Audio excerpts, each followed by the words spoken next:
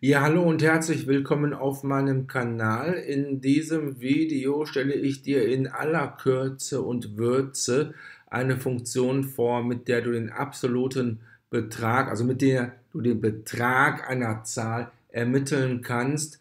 Ja, der Betrag einer Zahl, wenn du dich erinnerst an deinen Matheunterricht in der Schule, der Betrag einer Zahl ist der Abstand dieser Zahl vom Nullpunkt, wenn du dir den Zahlenstrahl vor Augen hältst.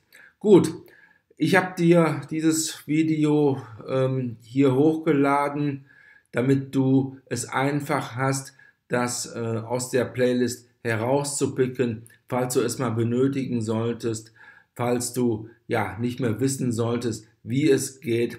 Also ja, dann mal los. Also hierfür brauche ich jetzt mal kein äh, eigenes Skript. Hier gebe ich einfach ein Python 3.8. Das ist die Python-Version, mit der ich aktuell arbeite, die aktuell auf meinem Rechner installiert ist. Enter-Taste drücken und jetzt nehme ich mit num bzw. mit der Input-Funktion vom User eine Zahl entgegen und diese Zahl wird in der Variable num gespeichert.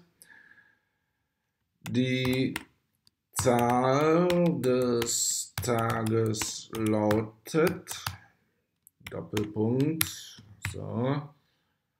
Hm, können wir mal ein bisschen ja, aufhübschen, wollte ich sagen. Ob es hübscher wird, der Text, weiß ich nicht, aber auf jeden Fall wollte ich einen Großbuchstaben haben. Okay, die Zahl des Tages. Okay, dann sagen wir mal minus 123. Gut, jetzt kann ich diese Zahl ähm, ausgeben. Ich mache das mal mit ähm, mittels eines formatierten Strings hier.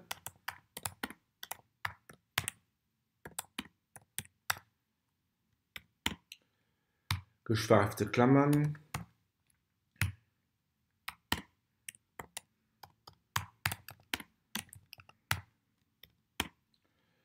So, und ja, den absoluten Wert ermittelst du mit der Funktion apps und ja, diese apps-Funktion nimmt einen Parameter entgegen und dies ist in diesem Zusammenhang unsere Zahl hier.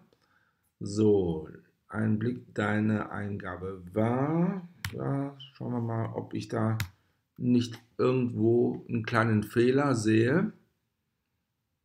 Okay, dann mal Enter.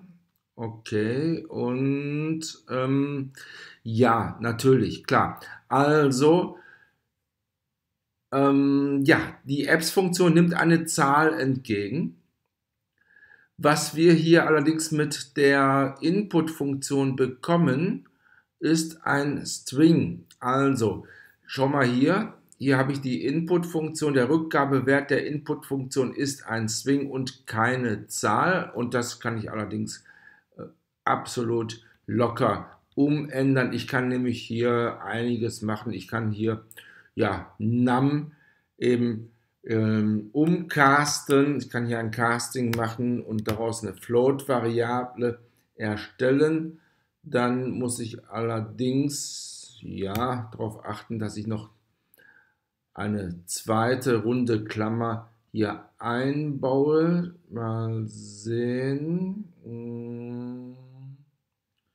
Sieht gut aus. Also sieht gar nicht mal so schlecht aus. Enter. So, deine Eingabe war ja minus 123 und der absolute Wert ist 123, wunderbar. Ich kann es nochmal machen, also ne, noch eine andere Zahl des Tages hier entgegennehmen und sagen, naja, 99 und ja, deine Eingabe war 99, absoluter Wert ist 99, ist klar, positive Zahlen ändern sich nicht. Und weil es so schön war, noch einmal, ich sage jetzt minus 1200, so nochmal ausgeführt, die Zahl, na, na, na, so, da haben wir es, zack, deine Eingabe war minus 1200, der absolute Wert ist klar, ist dann 1200. Also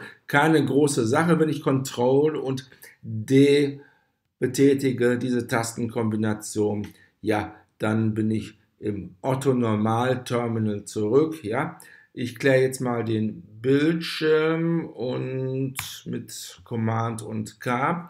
Das war's. Das ist ja wirklich ein kurzes Tutorial gewesen.